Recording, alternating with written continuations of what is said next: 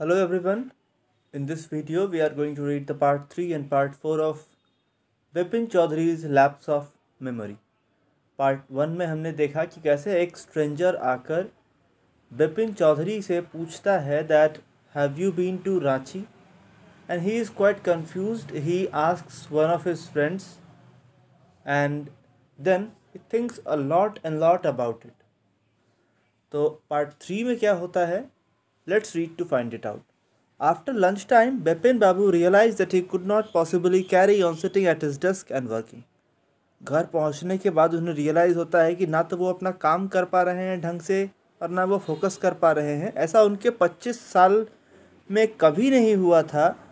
He had a reputation for being a tireless conscientious worker अपने company के लिए वो पिछले 25 साल से एक काफ़ी अथक काफ़ी कठिन परिश्रम करने वाले एक कर्मठ व्यक्ति थे। But today his head was in a word लेकिन आज जैसे उनका सिर बिल्कुल चक्कर खा रहा हो कंफ्यूज थे वो। Back home at two thirty ढाई बजे घर लौटने के बाद Bipin Babu lay down in bed and try to gather his wits together उन्होंने अपनी कोश, पूरी कोशिश की कि वो उस घटना के बारे में सब कुछ सोचें अपने उस रांची ट्रिप के बारे में सब कुछ सोचें। But he didn't know of a single instance लेकिन उन्हें कुछ भी ऐसा याद नहीं आ रहा था कि ऐसा भी कुछ हुआ भी हो and a fairly recent and significant one and that he had always wanted to go to Ranchi वो बेशक रांची हमेशा जाना चाहते थे. To have gone there done things and not to remember was something utterly impossible लेकिन वो गए हों और उन्हें चीज़ें याद नहीं हों, ये कुछ ऐसा है जो कि बिल्कुल उनके दिमाग में या वो बर्दाश्त नहीं कर पा रहे थे। एट सेवन थर्टी साढ़े सात बजे, बिपिन बाबू का सर्वेंट आता है और कहता है कि, Chunni Babu sir says it's very important वो कहता है कि, बाहर चुन्नी बाबू आए हैं, ये कुछ काफ़ी इंपॉर्टेंट है. बिपिन बाबू को पता था कि चुन्नी क्यों आया था। चुन्नी लाल स्कूल में उनके साथ था। He had been having a rough time lately and had been coming to see him about a job वो उनसे पिछले कई बार से जॉब के सिलसिले में मिलने आया करता। Bipin Babu knew it was not possible to do anything Vipin Babu को पता था कि उसकी मदद कर पाना पॉसिबल है नहीं तो वो कहता है वो तो उसने ऐसा कह दिया था but Chunni kept turning up like a bad penny लेकिन चुन्नी हमेशा ही उनके पास टाइम टू टाइम घूम कर मदद के लिए आ जाया करता। Vipin Babu sent word not only was it not possible for him to see Chunni now but not in several weeks उन्होंने मैसेज भिजवा दिया अपने सर्वेंट के थ्रू कि ना तो वो आज मिल पाएँगे और ना आने वाले कुछ वीक्स तक उससे मिल पाएँगे। But as soon as a servant step out of the room it stuck Bipin Babu that Chunni might remember something about the fifty eight trip there was no harm in asking him लेकिन जैसे ही चुन्नी लाल से मिलने वो servant जाता है message देने बिपिन बाबू खुद ही अपने कमरे से आ जाते हैं। ये सोचते हुए कि शायद चुन्नी को कुछ आइडिया हो इस ट्रिप के बारे में तो पूछने में कोई गलती नहीं। Bipin Babu hurried down the stairs हड़बड़ाहट में वो सीढ़ी से नीचे उतरते हैं लिविंग रूम में जाते हैं। चुन्नी भी अभी जाने को ही था, लेकिन बिपिन बाबू को आते हुए वो आशा में उनकी तरफ़ मुड़ जाता है। Bipin Babu didn't beat about the bush उन्होंने घुमा फिरा करके बातें नहीं की, सीधा पॉइंट टू पॉइंट बातें की, कहा लिसन चुन्नी मैं तुमसे एक बात पूछना चाहता हूँ। तुम्हारी मेमोरी काफ़ी अच्छी है और तुम मुझसे कई समय मुझे काफ़ी लंबे समय बाद मिल रहे हो। तो याद करो तो कि did I go to Ranchi 1958 कि क्या मैं 1958 में रांची गया था? Chunni said 58 it must have been 58 or was it 59 तो चुन्नी कहता है कि फिफ्टी uh, एट शायद फिफ्टी एट ही था या फिफ्टी नाइन आप कब गए थे? मतलब उसे खुद भी अच्छे से याद नहीं ये you are sure that I did go to Ranchi तो वो कहते हैं कि क्या तुम्हें ये श्योर हो, क्या तुम ये श्योर हो कि मैं रांची गया भी था? Chunni's look of amazement was not unmixed with worry अभी चुन्नी उनकी तरफ़ ऐसे देख रहा था कि वो बिल्कुल जैसे परेशान हो। Do you mean you have doubt about having gone at all क्या आपको डाउट है कि आप वहाँ गए भी थे? Did I go do you remember clearly फिर वो उससे पूछते हैं कि क्या तुम्हें याद है कि मैं गया था? क्या तुम्हें याद है? ठीक ठीक। चुन्नी सोफ़ा पे बैठ जाता है। Fixed Bipin Babu with a long hard stare and say Bipin have you taken to drugs or something कहता है कि, बिपिन, क्या तुमने कोई दवा वगैरह ले ली है क्या? नशा वगैरह कर लिया है क्या? क्योंकि जहाँ तक मुझे पता है you had a clean record where such things were concern मुझे पूरा पता है कि तुम इन सब चीज़ों का बिल्कुल रिकॉर्ड रखते हो, जिनकी तुम्हारे लाइफ में कोई अहमियत होती है। I know that old friend old friendships don't mean much to you मुझे पता है कि पुरानी दोस्ती ज़्यादा महत्व नहीं रखती तुम्हारे लिए but at least you had a good memory लेकिन तुम्हारी तुम्हारी याददाश्त तो अच्छी है। You can't really mean that you have forgotten about the Ranchi trip तुम, क्या मुझसे ये कहना चाहते हो कि तुम रांची ट्रिप कम्प्लीटली भूल चुके हो? Bipin Babu had to turn away from Chunni's incredulous stare अभी बिपिन बाबू ने अपनी नज़रें चुरा ली चुन्नी के उस घूरने के कारण। Do you remember what my last job was आज चुन्नी लाल चुन्नी लाल पूछता है कि क्या तुम्हें याद है कि मेरा पिछला काम क्या था? Of course you worked in a travel agency बिल्कुल याद है कि तुम एक ट्रैवल एजेंसी के लिए काम करते थे। You remember that and you don't remember that it is it was I who fixed up your railway booking for Ranchi तुम्हें वो याद है, और तुम्हें ये याद नहीं कि मैंने ही तुम्हारी टिकट की बुकिंग की थी रांची के लिए। मैं स्टेशन गया था तुम्हें छोड़ने को। One of the fans in your compartment तुम्हारे कंपार्टमेंट का एक फ़ैन नहीं वर्क कर रहा था, मैं एक इलेक्ट्रीशियन लेकर आया था तो क्या तुम सब कुछ भूल गए? Whatever is the matter with you चाहे कोई भी बात हो तुम्हारे साथ you don't look too well you know लेकिन तुम ठीक नहीं लग रहे।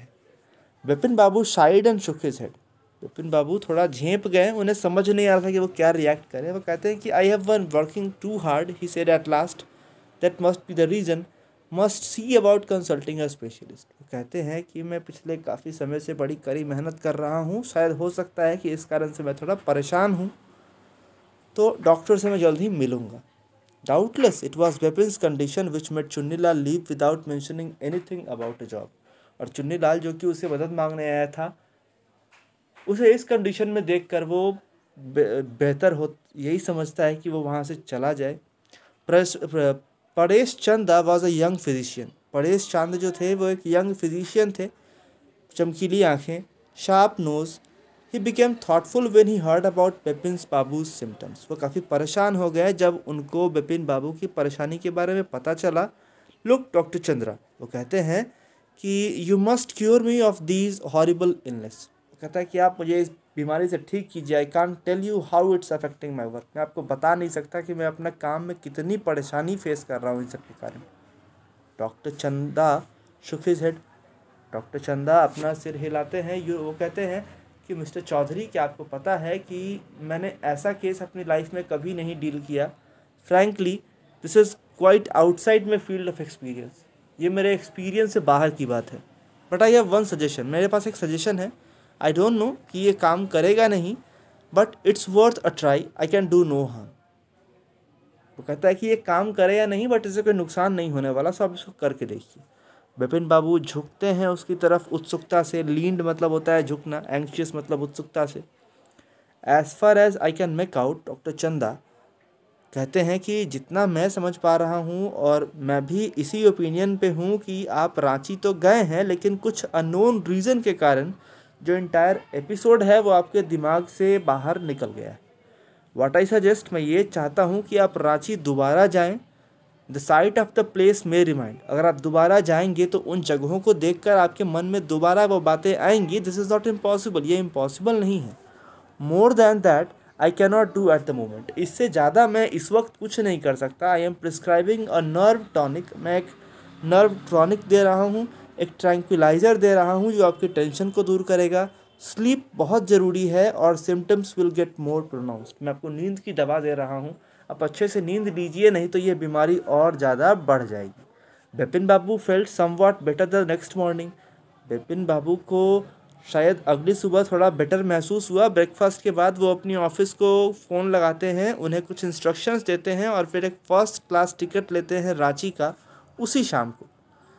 अब getting off the train at Ranchi next morning अगली शाम, अगली सुबह, जब वो रांची के लिए ट्रेन पकड़ रहे होते हैं he realize at once that he had never been there before कि वो आज तक कभी इसके पहले वहाँ नहीं गए थे।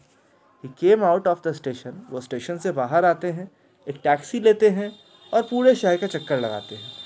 उनको रियलाइज़ होता है कि जो स्ट्रीट्स हैं, जो बिल्डिंग्स हैं, जो होटल्स हैं, जो बाज़ार्स हैं, जो मुरादाबादी हिल है, वो none of these he had the slightest acquaintance वो आज तक इन्होंने कभी देखा ही नहीं था। अगर वो इसके पहले कभी आए होते तो ज़रूर उनका नज़र कभी पड़ा होता, लेकिन उनकी नज़र में ये कभी आया ही नहीं था।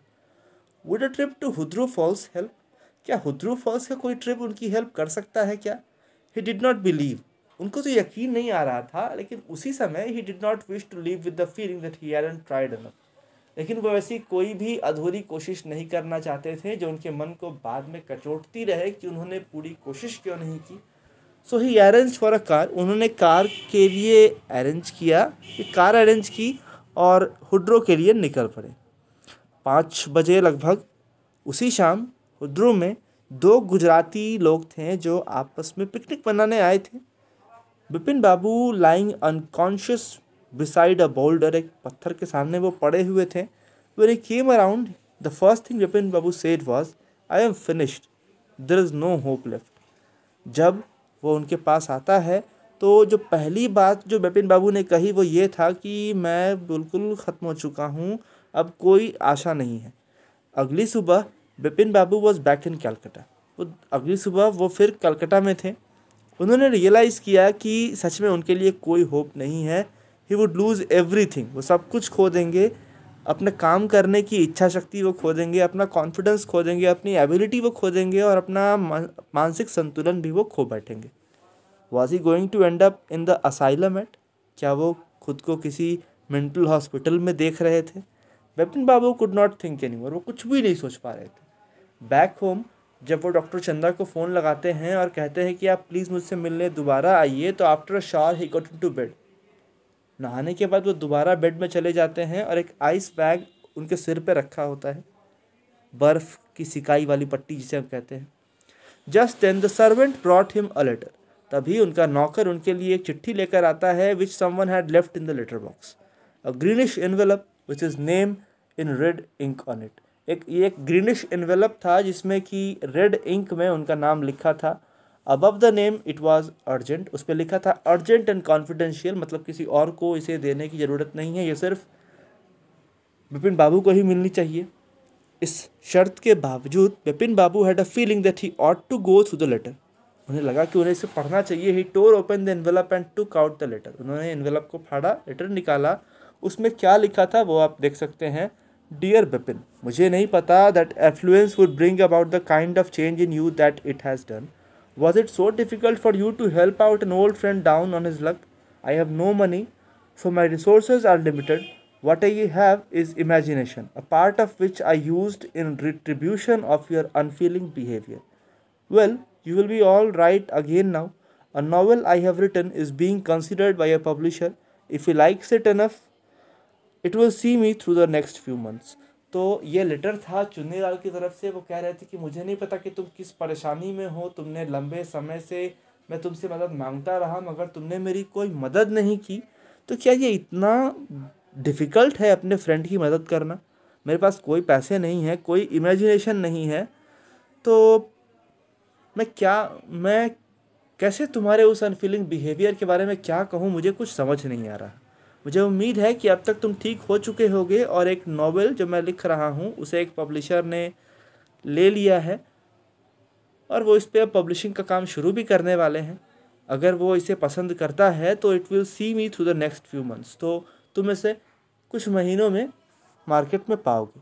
When doctor Chanda came Bipin Babu said I am fine it all came back as soon as I got off the train at Ranchi a unique case said Dr. Chanda, I shall certainly write about it in a medical journal.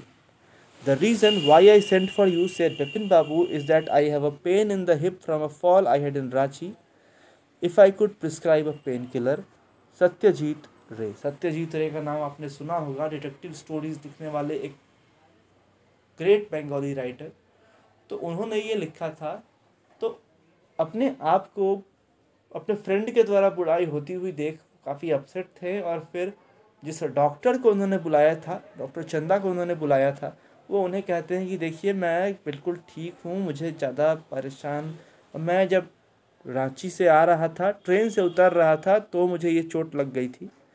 तो doctor Chanda कहते हैं कि ये तो बिल्कुल unique case है। मैं अपने मेडिकल जर्नल में इस बारे में ज़रूर लिखूँगा। द रीज़न अब वो जो बिपिन बाबू हैं, वो कहते हैं कि अब मैं आपको बता रहा हूँ कि मैंने क्यों ये चिट्ठी आपको भेजी है। ऐसा इसलिए क्योंकि मुझे गिर जाने के कारण मुझे चोट लगी है हिप्स में और if you could prescribe a painkiller वो सिर्फ़ इतना ही कह पाते हैं कि अगर आप कोई मुझे पेन किलर दे पाएँ मतलब मैं थोड़ी देर और सो पाऊँ तो ये काफ़ी बेहतर होगा। मतलब उसमें इतनी हिम्मत नहीं थी कि वो और किसी को भी झेल सके, किसी और का सामना कर सके, क्योंकि उनका एक फ्रेंड उनसे काफ़ी नाराज़ था।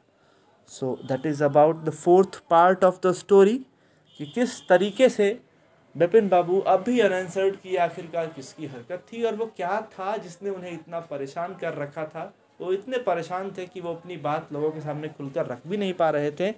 So that is all about the third and fourth part